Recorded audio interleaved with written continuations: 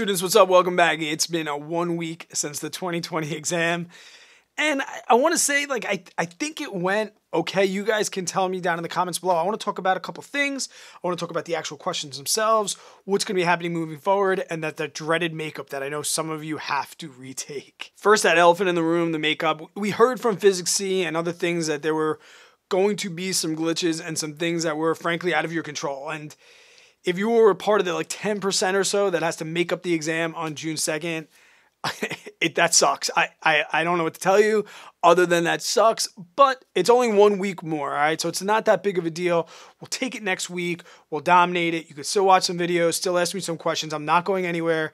You can still help me and, and maybe it's a little bit of an advantage because you got to see some stuff, kind of got a feel, and also you got to hear from everybody else's response. So if you're one of those people that has to take it on June 2nd, sorry, that that sucks, but it is what it is, man. Life sucks sometimes. As far as the actual exam questions that everyone that did submit has gotten, I'm going to release solutions of those. They are still secure, I think, until after they give this makeup exam, but I have seen the questions. My students, we've talked about them.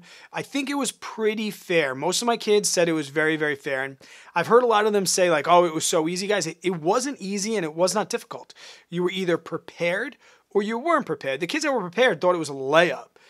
I talked to kids that thought it was impossible and they got the hard question. Now, they didn't get a hard question, they got a question that you were not prepared for.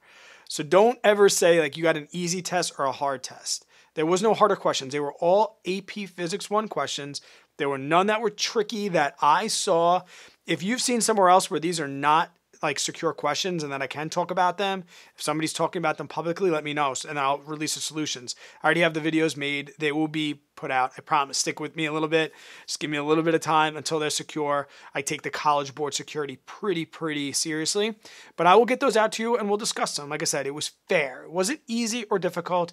It was fair. And a lot of you guys that have been watching, most of you were pretty prepared. And the questions were based on a lot of the things that we talked about and practice. So good for you. If you got on here early, you started studying, you started doing review, you asked me a ton of questions. Like I said, I'm pretty sure you got a very, very good score if you did the things that you were supposed to do, even for a week leading up to the exam. And the awesome comments that I've gotten from you guys, it's it's really awesome. I don't do it for the thank you. I do it so that you can learn. But when I do get the thank you, you know, that means the world to me. So many students reaching out and say that they think they did a little better because of some of the videos that we did here guys, that means the freaking world to me. Thank you for not unsubbing right away. I know that would be very for easy for you to do. Like physics is over. Like if you can say subbed, you know, put me on mute or whatever. But sub count helps other people know that what I gave was quality content. It's it's all those vanity numbers and people look and see. So I want to be able to help kids in the future. So tell your AP Physics one friends for next year, or stick with me in AP Physics two or the SAT two. Thank you for not unsubbing. That's all I want to say, and thank you for the awesome comments that I've gotten so far. So that's definitely the next videos I'm going to be posting. I'm going to be posting the solutions to those as soon as they become insecure and as soon as I can post them and the College Board doesn't have a problem with it like previous years, I'm going to do that.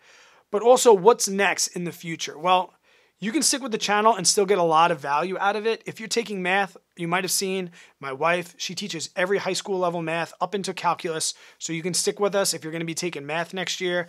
She's going to be posting a ton of content just like this. She's teaching Calc AB, and BC next year. So you're going to get a lot of content there. Next year, I'm going to be posting AP Physics C content as well as AP Physics 2 content. So maybe you're going to be taking a different AP. And also, I'm going to focus heavily on the SAT 2, the subject physics exam.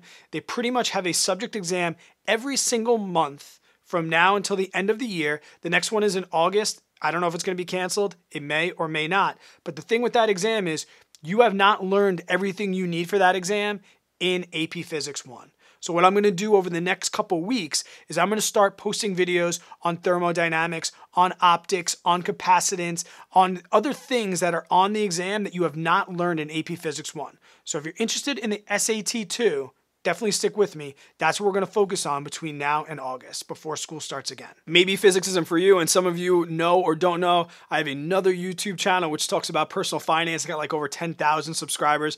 So if you don't care about physics, but you care about investing and getting wealthy, I'll leave a link to that channel. Maybe you want to go over there and follow me over there, and we don't have to talk about physics ever again. We could talk about money. I know for most of us, we had a pretty short time together. I definitely recognize names in the comments coming up over and over again. Like I said, I appreciate you, not just as viewers, but as students that wanted to learn and wanted to do the best you could. Even if physics is not in your future, you did well, you did what you were supposed to do, and I hope that you'll stick around and we get more content, whether it's in math or physics in the future.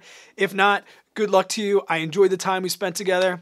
Until I see you on the next one, guys, stay positive, work really, really hard, and always be kind to other people. I hope you have yourself an amazing day and an even better tomorrow.